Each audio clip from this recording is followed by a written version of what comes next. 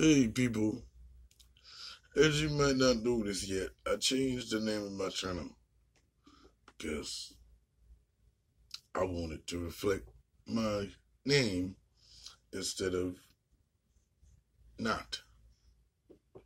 So this is the last time I changed it, so it won't be changed anymore. Now, Netflix came out with a documentary called Crip Camp. Okay. It should have been called Disability Camp because if you from the um, urban neighborhood and you're around a lot of gang territory and affiliation and gang violence, this would be very confusing for the public to watch it. And I have a few qualms about it, but it also brought up the um, Willowbrook case. Um, one thing I have a problem with, it's so damn old. Like they didn't liven it up or change it. So was it only during that time? Um, a lot of people, a lot of a lot of minorities don't speak on it. It's maybe three at the most. Even though it was during the sixties and seventies and those times. Um like I was saying before, the representation on television.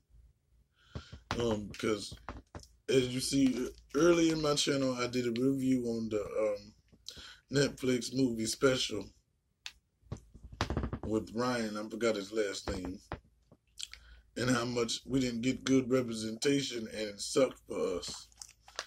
Um, when I was watching the documentary, I couldn't finish it because it was kind of boring. And my ADHD was like, nigga, this is boring. Stop watching this. Um, They should have. I don't know. It sucks though, dude. And they they've been betting a thousand with these damn disability shows and specials and shit. But um, yeah, I need to make one of my own because it sucks. I still don't see representation of myself. I don't see me on there. And of course I wouldn't because I like to say I'm new or a hybrid version, so I wouldn't be on there, I guess. But I would like to shed some light on the Willowbrook case. So let's react to the um the televised. Hmm. I say something. Not when I'm introing, but okay, go ahead. Since you cut me off. Oh, I was gonna say, even though as old as it was, mm-hmm. it was better than that Ryan thing? No. Because they're two different things. Okay, okay. That's like if I do my life and you see a whole lot of weed, weed smoking, butt fucking going on. That's my life. That's not necessarily. Okay, uh, what? Yeah, I got. I, I feel you. Thank you. I'm sorry. It just sucked because it sucked.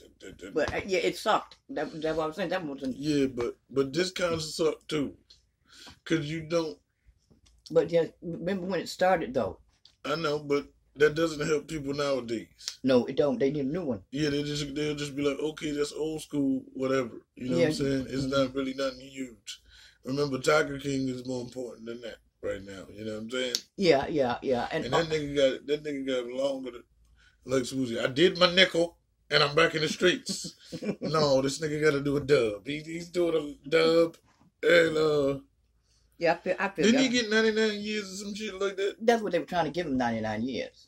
I didn't never finish it, so I can't tell you what happened. But anyway,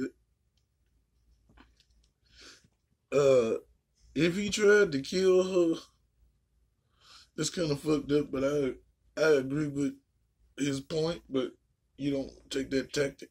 No, she's on him, and they were trying to find him. She killed her husband.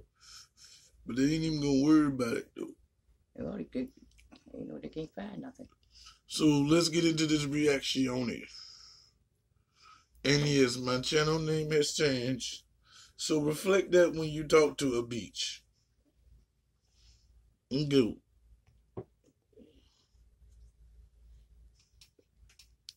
This old, you see them VCR lines right there, y'all? That's them VCR lines. Damn.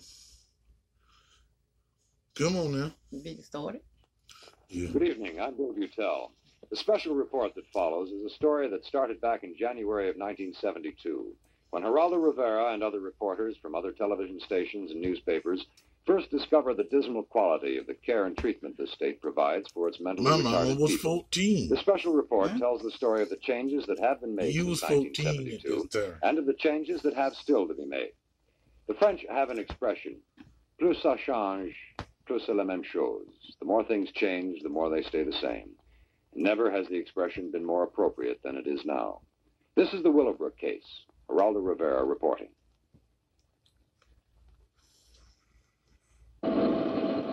This building in Brooklyn houses the Eastern District Federal Courthouse. And this room on the sixth floor for the last several months has echoed with the frightening recital of horrors. Federal Judge Orrin Judd has been hearing testimony on the case against the New York State Department of Mental Hygiene.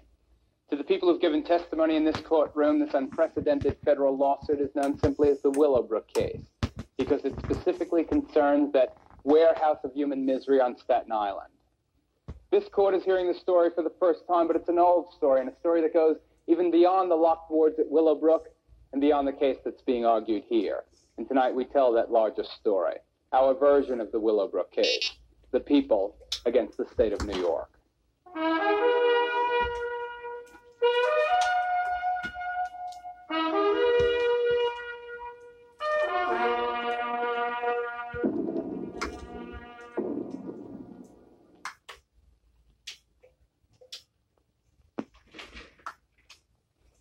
Robert Kennedy went to Willowbrook in 1965, almost 10 years ago. He found a snake pit and he demanded change, but there would be no change. We submit what he found as our Exhibit A, our first piece of evidence in the case against the state of New York. I visited the state institution for the mentally retarded, and I think particularly at Willowbrook that we have a situation that borders on uh, a snake pit, and that the children live in filth. Uh, but uh, many of our fellow citizens are suffering tremendously because lack of attention, lack of, lack of imagination, lack of uh, adequate manpower. In 1972, we went to Willowbrook for the first time. These are the conditions we found. This is our Exhibit B. The first building we went into was number six, the B ward, and I was totally unprepared for what we found there. In the large bare room, there was one attendant and perhaps 50 or 60 seriously and profoundly retarded young boys. Many of them were naked, some were smeared with their own feces, all were just rocking back and forth or smashing their heads against the floor and walls. This institution in 1972 was a crime against humanity. Those aren't just words, they accurately reflect the reality of Willowbrook. It was a horrible place that New York State officials could neither defend nor explain away. Since that time, however, some significant improvements have been implemented, and this documentary, among other things, is a follow up on what has or has not been done. Willowbrook, as it was in November of this year, is our Exhibit C in this case against the state. Under the crushing pressure of public outrage, the Department of Mental Hygiene increased the institution's budget and added 300 staff people. It also took action to decrease the number of residents at Willowbrook, reducing the total population from five to about 3,000. But despite these improvements, the expert witnesses in the federal lawsuit testified that conditions for people who remained at the institution were as bad and in some cases were worse than they had been before the initial newspaper and television exposés. A fact indicative of either supreme incompetence or grossly misplaced priorities on the part of state officials. Under the heading of Exhibit D, we present some of the specific evidence of insufficient change. It deals mostly with the physical abuse or neglect of the residents, but is not meant as a reflection on the employees at the institution, most of whom are dedicated, underpaid, and working under impossible conditions. There have been several complaints from parents of apparently battered children. How much more can he take? he can't speak for himself. I have to talk for him. In October, an 18 year old resident of Building 8 was found lying in a pool of blood next to his bed. Nobody saw what happened to him, but the night attendant quickly called for a doctor. At night, there's only one doctor on duty to care for all 3,000 residents. According to witnesses, it took the doctor 20 minutes to get from Building 2 to Building 8, a distance of about 200 yards. By that time, the resident was dead. This summer, another retarded child broke a leg. He was taken from Willowbrook to the public service hospital on Staten Island where a cast was put on. The child was then taken back to this ward at Willowbrook to recuperate. When he was returned to the public health hospital to have the cast removed three months later, the nurses there were horrified to discover that the cast had been rotted by the boy's own urine. When the cast was finally removed, it was found to be infested with maggots. By the time the, the maggots were found, uh, it was too late because we did not get any answer from the public health hospital as to what to be done, and we immediately had them removed. But we certainly do admit that uh, it should have been corrected, yes. There are no screens on the windows of Willowbrook's hospital ward, so the limbs of crippled children are inviting resting and feeding grounds for flies. And open sores like this one, not really explained, have been seen too frequently in this place. I said earlier that about 2,000 residents have been taken out of Willowbrook. Good news, but where have they gone? While some have been placed in wonderful community facilities like those run by Catholic Charities and the Association for Retarded Children, the majority have just been shifted to other substandard institutions. Operation Exodus, the program to reduce the population of Willowbrook, is a failure because many of the former residents, like those taken here to Keener on Ward's Island, are worse off now than they were before they left Willowbrook. The Department of Mental Hygiene has the responsibility for caring also for the state's mentally ill as well as its retarded. And the department's record in this area leaves just as much to be desired. Pilgrim State is the world's largest institution devoted to the care of the mentally ill. Located out in Suffolk County, the complex of buildings is enormous. The wards are fairly clean now, but they're also depressingly familiar. They're filled with men and women doing nothing, going nowhere, waiting for nothing to happen. During the mid 60s, Pilgrim State, along with Kings Park, Central Islip, and other state institutions for the mentally ill, were the target of scandal and expose. They were branded human warehouses that were totally unresponsive, failing to provide either decent living conditions or rehabilitation for their residents. The critics said that the best way to care for the mentally handicapped was outside these big institutions and in the community. The state responded to the criticism with panic. They started almost indiscriminately to discharge patients. So many were set free that it permitted state officials to close down entire buildings, not only at Pilgrim State, but at Kings Park and at Central Islip as well. There are now dozens of structurally sound abandoned buildings on Department of Mental Hygiene property. This is Pilgrim State Hospital, and it's too bad it isn't Halloween because this is absolutely the spookiest place I've ever been. Behind me is what must have been one of the biggest buildings ever built on Long Island. It was put up in the early 40s. Actually, this place is like a little town. The big central building in the middle, the little church in the foreground, and lots of smaller buildings, satellites actually, to every side of it. All of them are empty. It's eerie here. It's like a ghost town. You wonder where all the people went. The answer to that question is our Exhibit H. It's called dumping. This is Main Street in the town of Bay Shore, Long Island. Until recently, this was a pleasant, quiet suburban community. Its misfortune, though, is that it's located within a few miles of the big institutions. Because, as you can see, shuffling along the street at every hour of the day or night, improperly dressed, unsupervised, and uncared for, are dozens and dozens of former mental patients. In an indefensible perversion of the concept of community care, the state just put these people out, with little or no preparation, with little or no provision for aftercare or supervision or psychiatric follow-up, they were dumped out on the streets. A whole new business was created by the emptying of the institutions for the mentally ill, providing housing for former residents. Some of the community facilities are decent and well maintained. Most are not. The dismal Bay Bright Hotel, where a majority of the residents are former mental patients, is an example. Until October, there were no rehabilitative programs here at all, and now they're only minimal. Two men share one room. I asked the hotel manager about it. Lance, what rent does he pay here? Pete uh, pays 125 per month. And the other roommate also 125. Right. So that means for this room they pay 250 a month. Yes.